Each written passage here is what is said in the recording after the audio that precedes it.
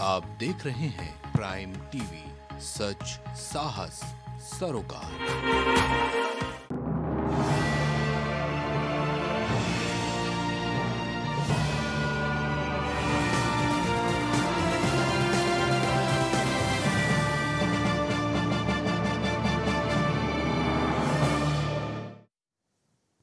नमस्कार, आप देख रहे हैं प्राइम टीवी मैं हूँ मनीष भदौरिया। शुरुआत करते हैं उत्तर प्रदेश की खबरों से। राम मंदिर के लिए आमरण अनशन पर चर्चा में आए तपस्वी छावनी के पीठाधीश्वर जगत गुरु परमहंस दास समय समय पर अपने बयानों को लेकर चर्चा में रहते हैं। वहीं एक बार और चौंका देने वाला बयान दिया है। उनका इसका दावा है कि ज्योतिष शास्त्र के अनुसार शास्त्रीय किताबों के अनुरूप 2025 में भारत का राष्ट्रीय ध्वज भगवा होगा। प्यारे देशवासियों अयोध्या से मैं तपस्वी छावनी पीठाधीश्वर जगत गुरु परमहंस आचार्य। ज्योतिष के आधार पर आज मैंने देखा कि 2025 तक भारत का राष्ट्रीय ध्वज भगवा हो जाएगा। वंदे मातरम, भारत माता की जय। हर हर महादेव, जय हिंदू राष्ट्र। 16 जुलाई को बुंदेलखंड वासियों को देश के प्रधानमंत्री नरेंद्र मोदी ने इस दौरान सीएम योगी भी मौजूद रहे। बुंदेलखंड एक्सप्रेसवे का उद्घाटन किया, जिससे लोगों को यात्रा करने में चित्रकूट से दिल्ली से रात लग जाता था। वहीं अब महज छः घंटों में अपनी यात्रा को पूरी कर सकेंगे। यह उत्तर प्रदेश का सबसे बड़ा दूसरा एक्सप्रेसवे होगा।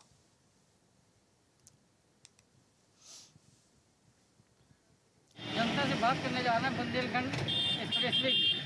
जो भारत सरकार और योगी सरकार की जो है देश है बुंदेलखंड वासियों को आज उसकी राय पूछेंगे हम जनता से। शिशिर यादव नाम है मेरा। दो सौ छियानवे किलोमीटर का ये एक्सप्रेस वे है बुंदेलखंड एक्सप्रेस वे जो कि पूर्वांचल एक्सप्रेस वे के बाद बना है।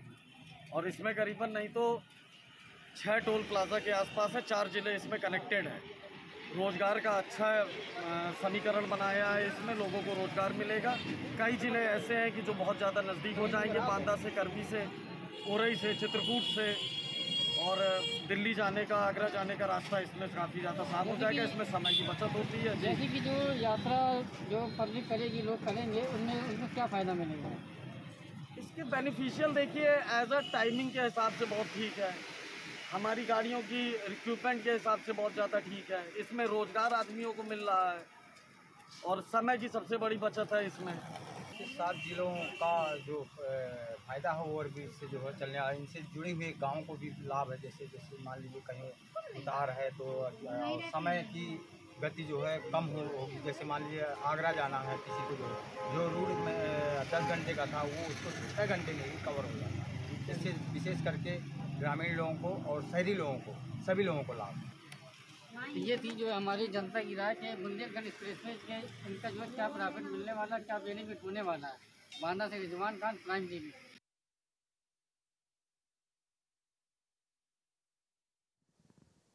East Asia के सबसे बड़े माल का लखनऊ में उद्घाटन के बाद ही विवादों में घिरता नज़र आ रहा है, जहाँ एक तरफ़ माल के अंदर नमाज़ पढ़ने के वायरल वीडियो ने सुर्खियाँ बटोरी तो लखनऊ में तमाम हिंदू संगठनों ने इसका पुरजोर विरोध किया। तो वहीं दूसरी ओर इस प्रकरण में कुछ प्रदर्शनकारियों को न्यायिक हिरासत में भी जेल भेज दिया गया। आइए सुनते हैं इस पूरे मामले में क्या हुआ। लखनऊ की जनता की क्या राय है? देखिए हमारी ये खास रिपोर्ट। एशिया का सबसे बड़ा मॉल, लुलू मॉल, लखनऊ में बनकर तैयार हो चुका है। सीएम योगी ने उसका उद्घाटन किया और साथ ही तमाम राजनीतिक संगठन भी उनके साथ आए। तो अब इस लुलू मॉल को लेकर एक नया विवाद फिर से छिड़ गया है। जहाँ एक तरफ़ नमाज़ की बात हो रही थी तो वहीं अब कुछ हिंदू संगठन हैं, उन्होंने साफ़ साफ़ ये विरोध किया था कि वो सुंदरकांड का पाठ पढ़ेंगे। लेकिन इस विरोध को किसी न किसी तरह स्थगित किया गया तो उसके बाद आज की बात है तो कुछ हिंदू संगठन के लोग वहाँ पर विरोध करने पहुँचे और पुलिस ने उन्हें दलबल के साथ गिरफ़्तार कर पुलिस लाइन और इको गार्डन की तरफ़ भेज दिया। तो अब देखने वाली बात यह है कि एक तरफ़ लखनऊ को सबसे बड़ी सौगात मिली, एशिया का सबसे बड़ा मॉल मिला तो वहीं लखनऊ की जनता इस पूरे नमाज़ के विवाद या नमाज़ के मामले को लेकर अपना क्या रिव्यू रखती है क्या बयान रखती है आज हम आपको सुनाएँगे और जानेंगे लखनऊ के मन की बात। नहीं नहीं ऐसा बिल्कुल कभी नहीं और कहीं नहीं होना चाहिए। देखिए धर्म अलग विषय है और व्यापार या ये अन्य चीज़ें अलग हैं। तो सड़क पर उतर रहा है। मेरे ख्याल से अब संगठन को सड़क पर उतरने की कोई आवश्यकता नहीं है। जब माल प्रबंधन ने कार्रवाई कर दी है एफआईआर हो गई है और अन्य सारे कदम उठा गए हैं उठा लिए गए हैं। उन्होंने कह भी दिया है कि आगे से ऐसा नहीं होगा। तब ऐसा विरोध प्रदर्शन अब मेरे ख्याल से अब नहीं होना चाहिए। करनी तो नहीं चाहिए बिल्कुल नहीं करना चाहिए। तो पहले जो हुआ उसको भी सोचना चाहिए था ये। फिर पहले उन उनको जो है उनके खिलाफ कार्रवाई किया जाए। इसके बाद अगर उनका कार्रवाई हो जाता है फिर अगर हनुमान चालीसा पढ़ी जाए तो उनके खिलाफ भी की जाए।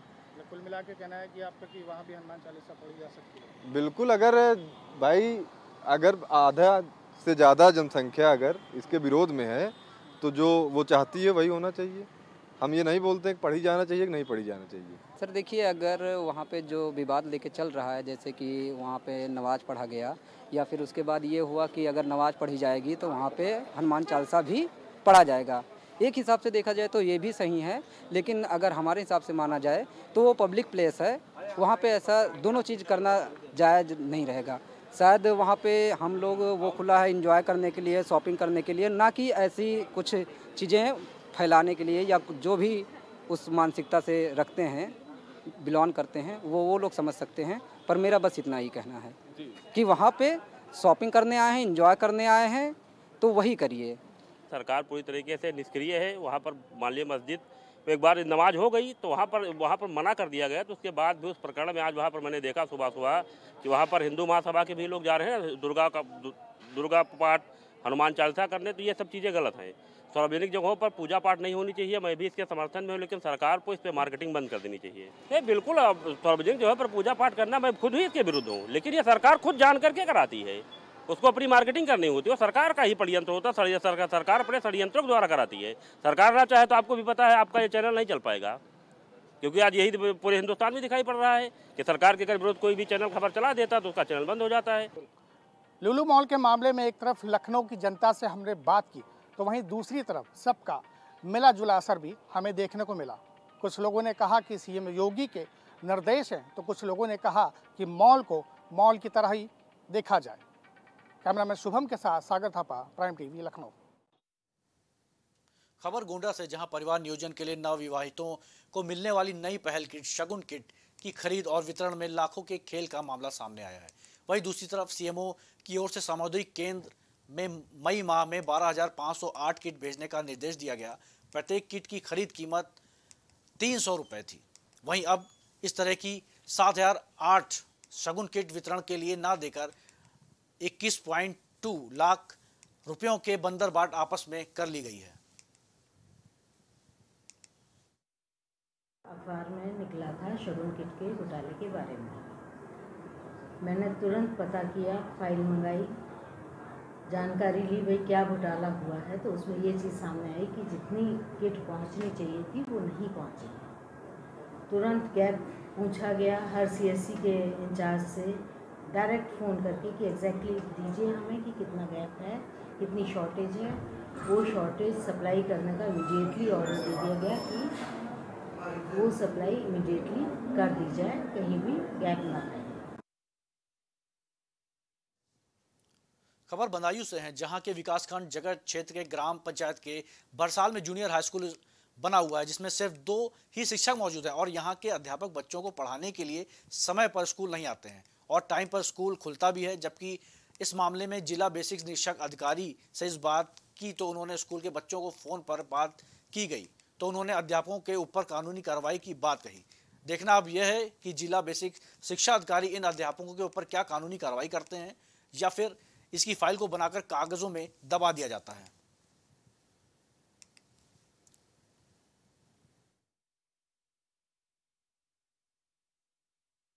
अब इतनी हिम्मत तो पैसे करेंगे नहीं। अब इतनी हिम्मत जितनी आप बता रहे हो। जी हम आपसे झूठ थोड़ी बोल रहे हैं। हम स्कूल में इस समय मौजूद हैं। बच्चे भी खड़े हुए हैं। कमरों में ताले लगे हुए हैं। बच्चों से बात कर ले आप।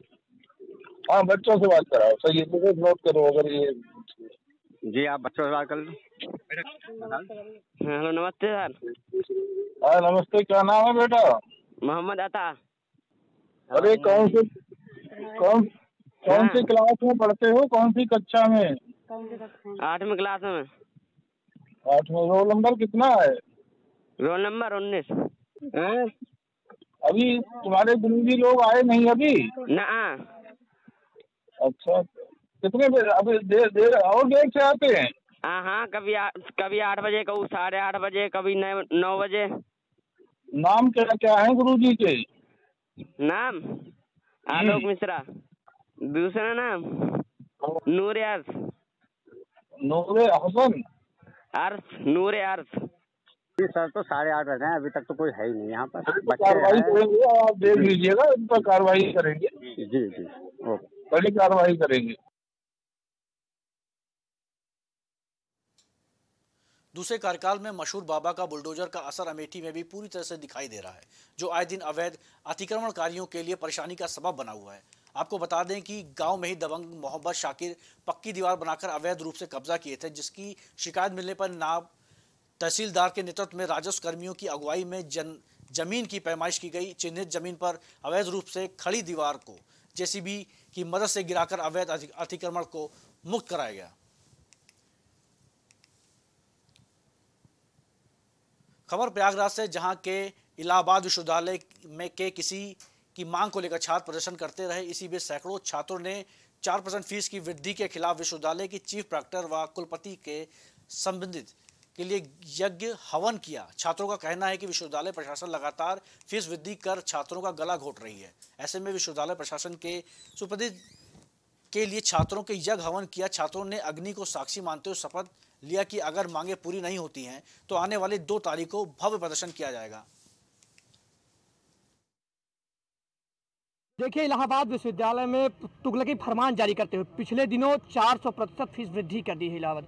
हमारी मांग है कि इलाहाबाद विश्वविद्यालय में जो 400 प्रतिशत फ़ीस वृद्धि की गई, वो वापिस हो उसी को लेकर आज हम लोगों ने इलाहाबाद विश्वविद्यालय में बुद्धि शुद्धि यज्ञ करके इलाहाबाद विश्वविद्यालय प्रशासन को सदबुद्धि देने की सदबुद्धि के लिए भगवान से प्रार्थना की है कि इलाहाबाद विश्वविद्यालय जो प्रशासन है, जो ये नहीं समझ पा रहा है कि यहाँ इलाहाबाद विश्वविद्यालय पढ़ने वाले ज़्यादा ज़्यादातर छात्र या किसान परिवार तालुक से मजदूर के बच्चे पढ़ते हैं। ये जब अगर चार सौ परसेंट फ़ीस बढ़ जाएगी तो ये छात्र मजदूर का बच्चा जो यहाँ पढ़ ले रहा है, उसके लिए आने वाले समय में इलाहाबाद विषय के रास्ते बंद हो जाएँगे, उस बचाने के लिए। हमने आज यह सदबुद्धि किया है। खबर अलीगढ़ से, जहाँ के थाना सिविल लाइन्स इलाके की जिला कचहरी में आपसी कहासुनी को लेकर वकीलों के बीच मारपीट हुई, जिसका वीडियो सामने आया है। वीडियो में एक अधिवक्ता दूसरे अधिवक्ता के चैम्बर में घसीटते हुए बाहर सड़क पर ले ले आया और फिर उसके साथ ज़मीन पर गिराकर भी मारपीट मारपीट की गई।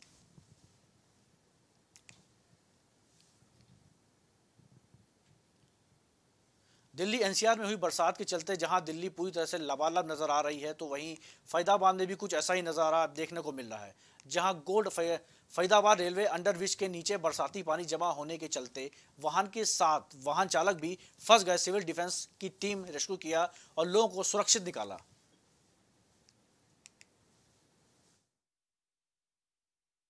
फरीदाबाद प्रशासन की कुछ हम कह सकते हैं नाकामियाँ भी हैं। क्योंकि एमसीएफ की नाकामियाँ हैं, जो कहते पानी इतना ज़्यादा भर जाता है, कोई निकासी नहीं है इस पानी की। अभी हमारे जवान अंदर गए हुए हैं, बहुत से लोगों को निकाल भी रहे हैं, आपने देखा है। इसके अंदर करीब से तीन से चार फुट गहरा पानी भी है। आप देख सकते हैं, पूरा पानी अंदर तक भरा पड़ा है। हमारी टीम लगातार काम कर रही है। रामनगरी अयोध्या में प्रभु श्री राम लला का मंदिर निर्माण का कार्य तेज़ी से चल रहा है। मंदिर निर्माण में बसी पहाड़पुर के पिंक स्टोन से रामलला का भव्य मंदिर बनाया जा रहा है। तो वहीं रामलला के मंदिर में करब्रैक को लेकर चौदह दरवाजे होंगे। अब इन दरवाजों को लगाए जाने के लिए मकराना मार्बल चौखट और बाजू बनाए जा रहे हैं, जिसकी नकाशी मुस्लिम समाज के लोगों ने की। जो है संगमरमर जो है 2000 वर्ष की बताई जा रही है। तो इस इस दृष्टि से अगर देखा जाए तो यह संगमरमर का पत्थर जो है वहाँ से लाया गया है और इसे जो है यहाँ पर रख दिया गया है। यह विशेषकर ये भी एक वो हम सबको जो जानकारी मिली उस समय जब न्यास ने इसके तराशी कराई तो वहाँ की जो मकराना की फर्म थी वो मुस्लिम बंधुओं की थी। उन्होंने अपना सौभाग्य समझा कि राम जन्मभूमि पर हमारे हाथों की कलाकृति से नक्काशी की गई ये पत्थर जो है वहाँ पर लगेंगे, ये हमारा सौभाग्य है। उन्होंने अपने आप को भगवान राम का कहा कि वो हमारे पूर्वज हैं तो इस प्रकार से इन पत्थरों को उन्होंने बड़े ही प्रसन्नता पूर्वक नक्काशी की। अपराध व अपराधियों पर अंकुश लगाने के लिए चलाए जा रहे अभियान के तहत बिजनौर थाना कोतवाली और शहर पुलिस द्वारा पुलिस मुठभेड़ में वांछित शातिर लुटेरे को अवैध हथियार सहित गिरफ़्तार कर लिया गया और राजस्थान में रहने वाले लुटेरों के पास से सोने की चैन और अवैध हथियार बरामद हुए। फ़िलहाल पुलिस आगे की कार्रवाई में जुटी हुई है।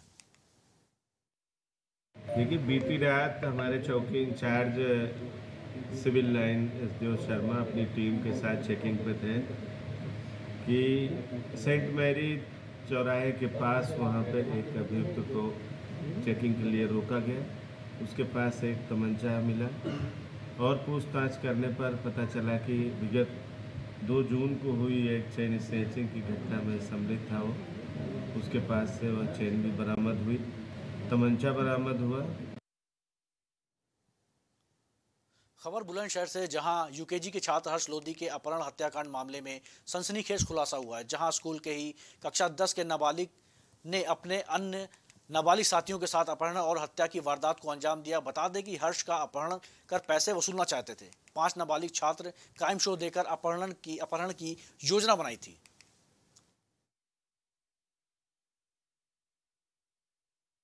ये थाना छतारी में एक एस आर इंटरनेशनल स्कूल पड़ता है, जहाँ से कि एक सात वर्षीय बालक न्याय हुआ था और उसकी डेड बॉडी अलीगढ़ में मिली थी। इस संबंध में हमारी छः टीमें काम कर रही थी इस घटना के अनावरण के लिए जिनके द्वारा इस घटना का सफल अनावरण किया गया है। पूछताछ में और सीसीटीवी इत्यादि चेक करने के उपरांत ये बात प्रकाश में आई कि जिस स्कूल में वो बच्चा पढ़ता था, उसी स्कूल का एक दसवीं कक्षा का छात्र था और उसके साथ उसके चार अन्य साथी, जो सभी के सभी नाबालिग हैं। इनमें से एक छात्र का कुछ आर्थिक नुकसान हुआ था। वो पेटीएम करते समय किसी गलत अकाउंट में पैसे चले गए थे। जिसके बाद इन सभी लोगों ने योजना बनाई कि वह एक छात्र का अपहरण करेंगे और उसके बाद उनके परिवार वालों से रैंसम वसूलेंगे, जिसके लिए इन्होंने ये घटना कारित करी। खबर गाजीपुर से जहाँ पुलिस ने अवैध गांजे की बड़ी खेप पकड़ी है।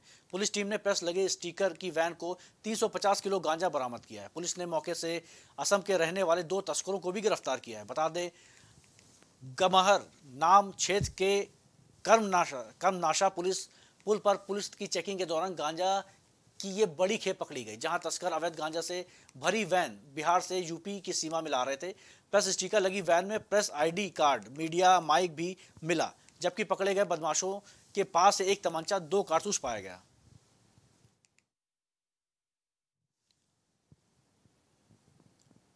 खबर रायबरेली से, जहाँ लालगंज के गायत्री देवी महिला महाविद्यालय की छात्राओं ने सरकार से नाराज़गी व्यक्त करते हुए बताया कि आसपास के महाविद्यालयों में पढ़ने वाले सभी छात्र छात्राओं को स्मार्टफ़ोन मिल गया है, जबकि स्मार्टफ़ोन वितरण हुए लगभग दो माह बीत चुके हैं, लेकिन गायत्री देवी महिला विश्व महाविद्यालय की छात्राओं को अब तक स्मार्टफ़ोन नहीं मिला। जिससे छात्र मायूस हैं। सर हम बी के छात्र हैं। फाइनल तो स्मार्टफ़ोन किसी से आपने शिकायत नहीं मिला? सर हमने सीखा नहीं फिर हमने अपने सर से पूछा है तो क्या हमने सरकार से वो किया है? तो सरकार जब देगी जब भी आप लोग को हम देंगे। अच्छा अच्छा। बातचीत तो हुई है और विद्यालय की छात्राओं का कहना भी जायज़ है। जिस प्रकार से जिस प्रकार से सरकार ने हमसे वादा किया है तो कहीं कि रायबली के ज़िले में कुछ विद्यालयों में डिग्री कॉलेजों में लैपटॉप और स्मार्टफ़ोन वगैरह आए भी हैं और मिले भी हैं। लेकिन अभी हमारे यहाँ की सूची जो है, भेजी गई है, लेकिन अभी यहाँ पर कोई ऐसी सुविधा मिली नहीं है, जिससे बच्चों को हम प्रोवाइड नहीं कर पा रहे हैं। खबर फरीदाबाद से, जहाँ सूरज कुंड में आयोजित किए जा रहे तीन दिवसीय प्रशिक्षण शिविर के दूसरे साथ साथ आयोजित किए जा रहे हैं, जो विभिन्न विषयों पर आधारित शिविर में पहुँचे केंद्रीय राज्य मंत्री कृष्णपाल गुर्जर, स्वास्थ्य मंत्री प्रदेश अध्यक्ष और विधायक नरेंद्र गुप्ता ने शिविर में रखे गए विषयों पर जानकारी दी। कार्यकर्ताओं को अलग अलग विषयों पर अलग अलग नेता अलग अलग बात रख रहे हैं। और यहाँ बात भी रखी जाती है और उसके बाद फिर प्रश्न पूछने के लिए भी समय दिया जाता है। जो कार्यकर्ताओं की शंकाएँ होती हैं, उनका उसमें उत्तर दिया जाता है, उनको क्लियर किया जाता है। मुख्य रूप से ये जो शिविर है, यहाँ पर जो पार्टी की रीति नीति है, उसके बारे में बताया जाता है। भारत यहाँ की कल्चर के कारण एक देश बना है। यहाँ राज्य तो छोटे छोटे बहुत सारे थे। दुनिया के बहुत सारे देश इसलिए बने कि उनका राज्य एक था। हमारा देश इसलिए एक है और इसी कारण से एक बना कि उसकी कल्चर एक थी आसे तो हिमालय। आप देखते होंगे भाषा अलग अलग है, लेकिन साहित्य एक ही है। ये मोदी सरकार की जो संकल्प से सिद्धि है 100 परसेंट लाभार्थी को जो योजना बनी, उसका लाभ मिले। इन आठ सालों में, चाहे वो देश का सम्मान हो, देश का खजाना हो, देश की सीमाएँ हो सब सुरक्षित हुई हैं। गोंडा के तरफगंज तहसील में डीएम की अध्यक्षता में संपूर्ण समाधान दिवस का आयोजन किया गया। इस दौरान डीएम ने लोगों की समस्याएँ सुनी और लंबित मामलों को देखकर डीएम के कई अधिकारियों को जमकर फटकार भी लगाई और कहा कि जल्द से जल्द लंबित मामलों को निपटाया जाए।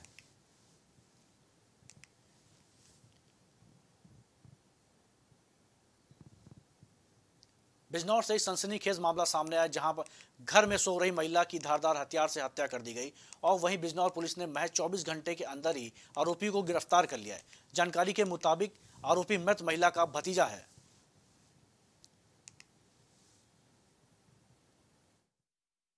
ये एक सनसनीखेज घटना थी, जिसके अनावरण के लिए तीन टीमें लगाई गई थी, क्षेत्राधिकारी नगीना के नेतृत्व में। और टीम ने काफ़ी मेहनत करके, प्रयास करके 24 घंटे में इस अज्ञात हत्या का खुलासा किया जो है। और इसमें जो खुलासे में आया कि इसी का सगा भतीजा जो बगल के वाजिद नाम का जो इसी का सगा भतीजा है और बगल ही घर में छत के ऊपर सो रहा था, रात्रि में बुरी नीयत से इसके पास आया। पहचान होने के डर से जब महिला ने पहचान लिया तो इसने जो है और वो दरवाज़ा खोलने के लिए भागी। तो इसने उसका जो है धारदार जो हथियार से उसका जो है गला रेत दिया।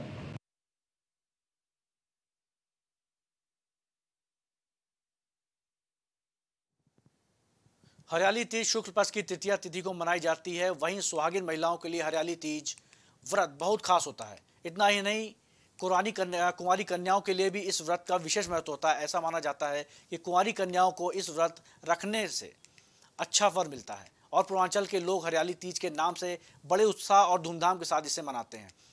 तीज पर मेहंदी लगाने और झूले, झूलने का भी विशेष महत्व है।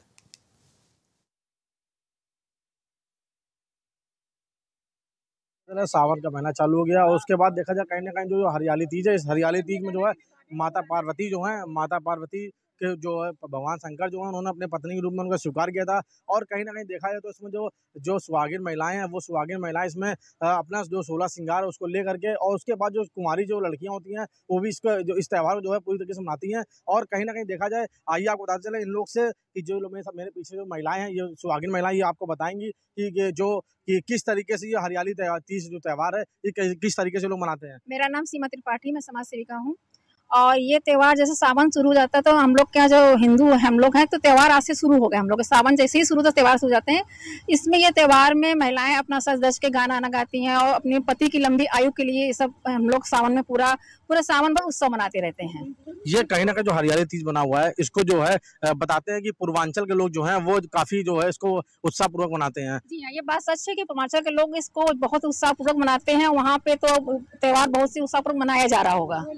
लेकिन धीरे धीरे इसका असर हम लोग के यहाँ पर भी आज मेरे कानपुर में भी आ गया है तो हम लोग कानपुर वासी बना रहे हैं आज। देखा जाए कहीं ना कहीं जो है यहाँ की जो महिलाएँ और भी महिलाएँ उनसे पूछते हैं जो हरियाली तीज है वो किस तरीके से और मनाना चाहते हैं किस तरीके से मेन जो उनका जो मकसद है इस त्यौहार क्या है ये हमको बताएँगे। क्या नाम आपका? मेरा नाम वैष्णवी तिवारी है। वैष्णवी जी ये बताइए कि जो हरियाली तीज है इस हरियाली तीज को आ, किस तरीके से और और और किस तरह से आकर्षण जो है और जो एक आस्था का प्रतीक है वो किस तरीके से मैसेज समाज को? ये हमारा जो हरियाली तीज का प्रोग्राम है, ये हमारी संस्कृति है। इसमें औरतें सज संवर कर अपने पति के लिए, यहाँ तक कि ये कुंवारी कन्याएँ भी मनाती हैं, ताकि उनको वर अच्छा मिले। इसलिए हरियाली तीज का प्रोग्राम करती हैं। और हरियाली तीज का जो प्रोग्राम है, ये पूर्वांचल से आया हुआ है। और ये हमारे यहाँ भी संस्कृति ऐसी बन गई कि हर औरत आज तीज का व्रत रखती है और इसको सुंदर ढंग से मनाती है। झूले का निर्माण करके, झूले झूल के, हरी चूड़ियाँ पहन के, मेहंदी लगा करके इसके साज सज्जा के साथ इसका बहुत ही सुंदर रंगमंच तैयार करती है। देखा जाए कहीं ना कहीं पूरी तरीके से जो है, जो हरियाली तीज है अब सावन महीना चालू हो चुका है और महिलाओं का व्रत वो है, वो लगातार जारी है। कैमरा पर्सन सागर साथ उपेंद्र स्थाना कानपुर।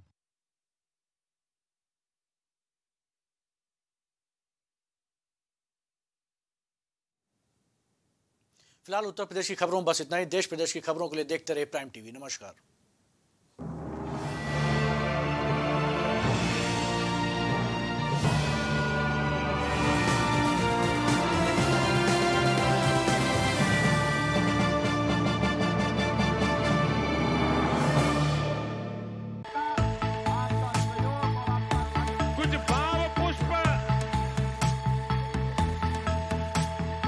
आप देख रहे हैं प्राइम टीवी सच साहस सरोकार।